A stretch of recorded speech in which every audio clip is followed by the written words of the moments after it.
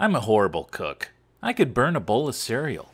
If things were left to me, we'd be having burnt toast and ramen noodles every night.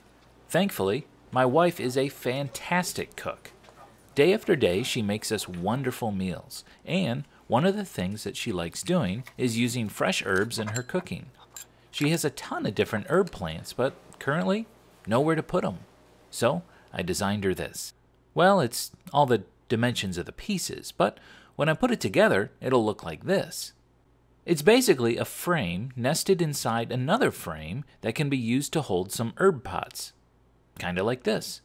I plan on making a few of them, so I'll hook them together and hang them from the ceiling in front of a window, like this. This way, she'll have 12 herbs all hanging together in one spot, all easily accessible and easy to manage. It will take advantage of the sunlight that comes through that window, plus, it should turn out looking kinda cool, too. So, that's what we're going to be doing today. Let's get to it. I decided to use just regular old 2x4s for this project, and I calculated that I should only need 6 to do the whole thing.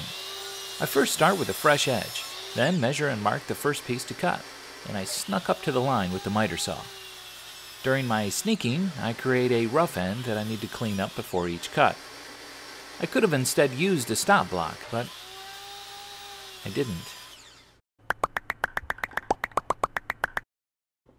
Once I had all the pieces cut to length, I took them over to the jointer to trim down one of the faces and to take off the rounded edges. It took a couple aggressive passes on each piece, but this gave it a real nice face to reference things on moving forward. Then it was on to the planer to get them all down to their final thickness. Over at the table saw, I first trimmed off one of the remaining sides that still had the rounded edge. Then I could flip the piece around, reference that edge against the fence, and cut out my final pieces. This left me with pieces that had nice square corners that stacked up just perfectly.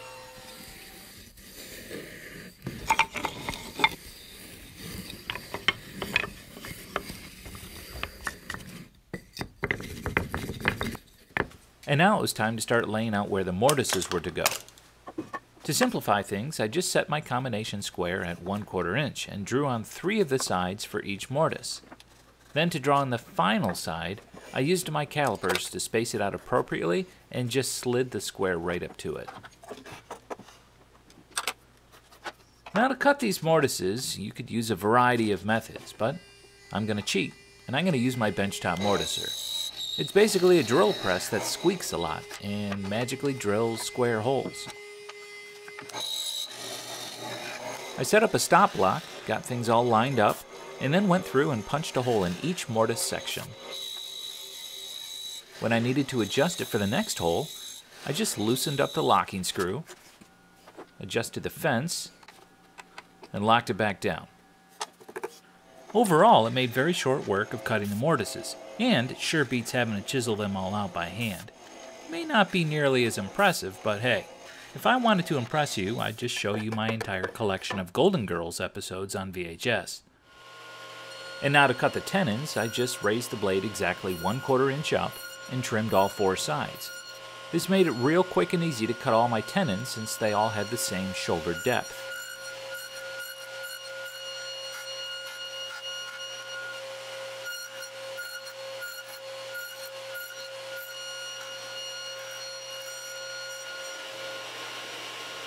Giving it a test fit. Perfect. Now when it came time to cut the cross-halving joints, I wanted to test things out on a scrap piece of wood first. The two lines indicate how much material needs to be removed, and if I line it up on the first one, you can see that it leaves a kerf width gap by the stop block. Well, I have a spacer that I made which is the same width as my blade. When I put that in, the first mark lines up. Then I just use the piece I'll be inlaying as the spacer to make the second mark line up. So now I give it a test. I make my first cut with my kerf spacer, and I use the inlay piece as a spacer for the second cut, and then I hog out all the material in between.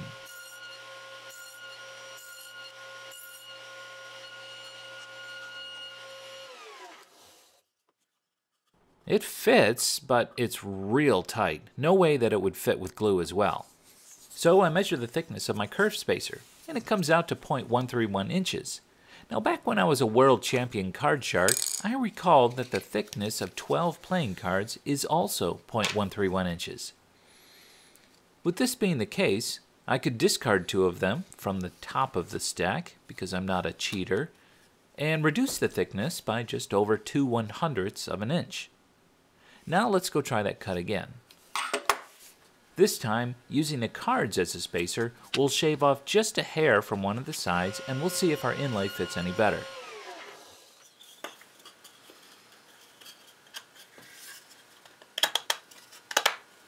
Oh, that's perfect. So now that I had my method down, I went ahead and I cut all my cross-halving joints, testing each one as I went. With all of them cut, it was time to miter the edges of the short pieces.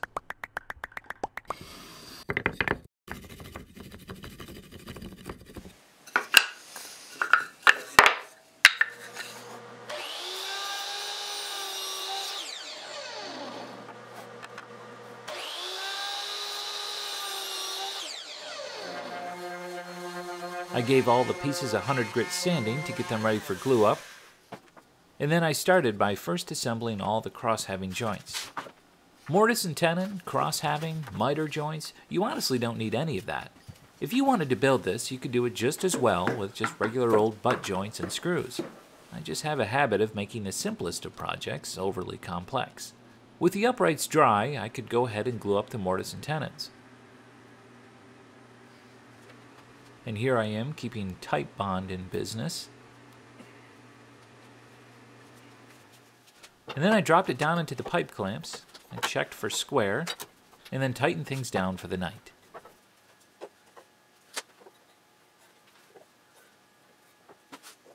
The next step was to cut the miters for the side rails. Since there may have been small variations, I just held up each rail and marked exactly where it needed to be cut.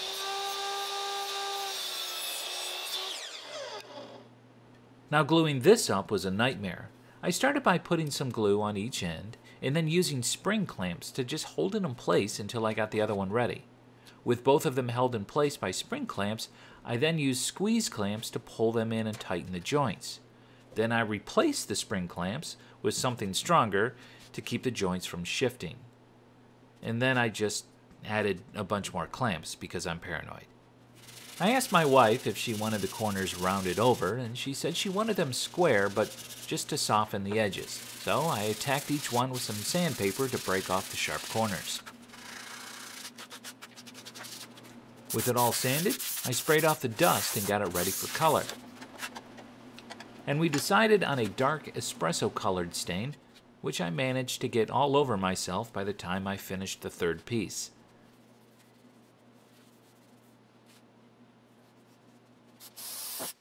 Three to four coats of spray-on poly will give it the protection it needs and that glossy look that we really like. I bought these really expensive coat racks that I painted dark brown. And next I drilled in some holes in the top and bottom of each rack. The bottom's got screw eyes, and the top's got hooks. And I mounted a couple chains into the ceiling joists and hung them up.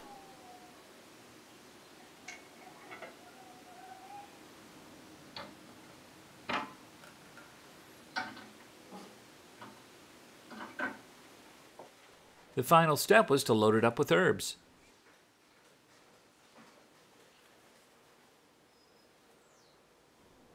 So there it is, folks, a hanging herb garden. My wife now has a place indoors where she can have all of her herbs in one place and keep them year round. I really like how it turned out, too.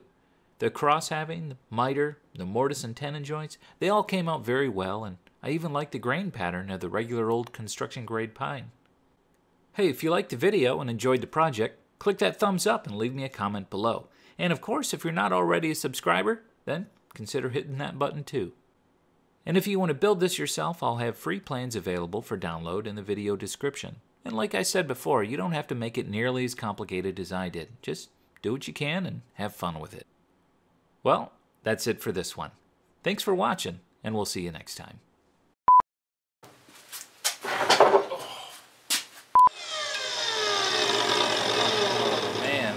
broke out of there. Cramp. Dang it. You're an expert leaf picker. I'm a really bad leaf picker.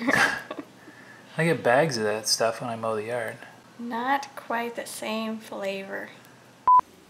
So, no matter how tempting, don't climb it. Okay, because it, it can't hold your weight and it'll come crashing down and it'll make a huge mess and then daddy will make you have to go live in the woods behind the house.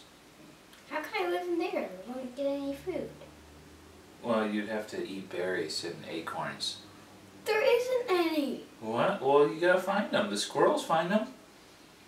Maybe you could just come down to some food. Good morning. Or just eat it. Maybe I can make a shelter off sticks.